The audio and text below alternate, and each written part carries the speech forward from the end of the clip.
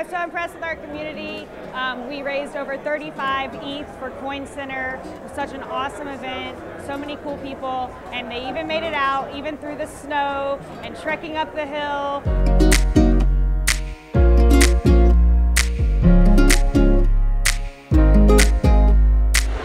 We are here in Golden, Colorado at Erik Voorhees' new house celebrating the pioneers of crypto. It's a party fundraising ETH for Coin Center, which is one of the top lobby groups pushing cryptocurrency in DC, helping fight the good fight.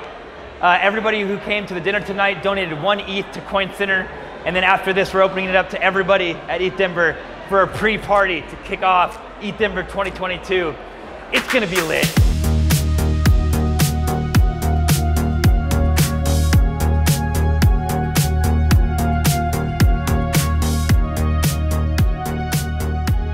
Turned our centralized company into a DAO. We are building a community free of regulatory burden, and we are building a platform for the world to interact with decentralized finance.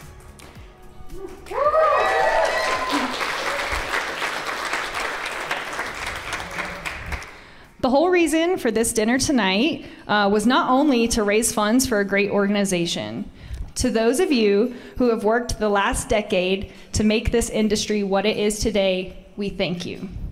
So please, let's raise a glass to our honored guest, to Satoshi, and those who have contributed since.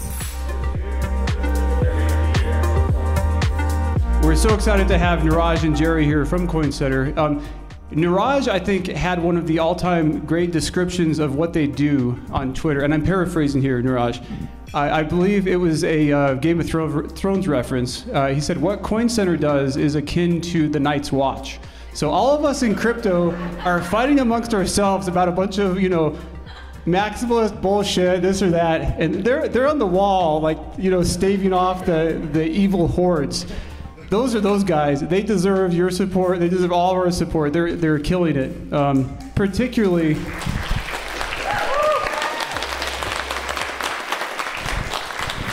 And by virtue of your attendance, you have supported them. So thank you very much. And uh, I'll pass it on to Jerry from Coin Center.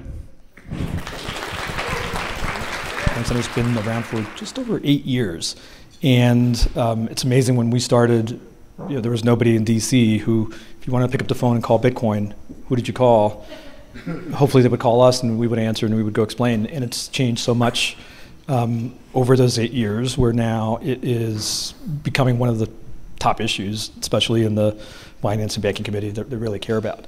And over that time, people always assume that we're like an industry lobby group, and they treat us that way, and that's fine. They can think whatever they want of us, and we're happy to go in there and talk to them.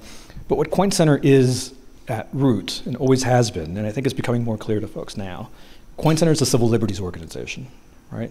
The reason we exist is to protect your First Amendment right to speak, that is to write code we exist to protect your First Amendment right to assemble, to form peer-to-peer networks.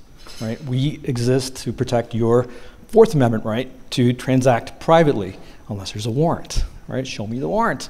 And so um, we've been doing that successfully for eight years. Things are getting uh, a lot hotter in DC now. We're getting more challenges. Um, uh, and um, we're going to have to go on the offensive more. So you here today are helping us do that. So thank you all.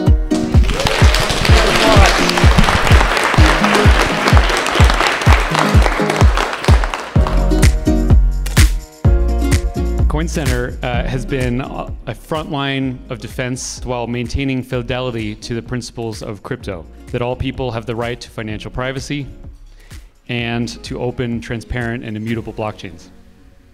So, Shapeshift uh, has always walked a fine line between pioneering these same principles and uh, trying not to end up in jail. and a lot of our ability to do that uh, has been the good work of Coin Center. So, uh, the buses full of party people will be arriving uh, pretty shortly. Enjoy yourself. There's open bars. We'll be going late tonight. Uh, you guys are all welcome to stay here as long as you want. Uh, my wife, Michelle, will be DJing a little bit later. So, you, you will see her there. Cheers.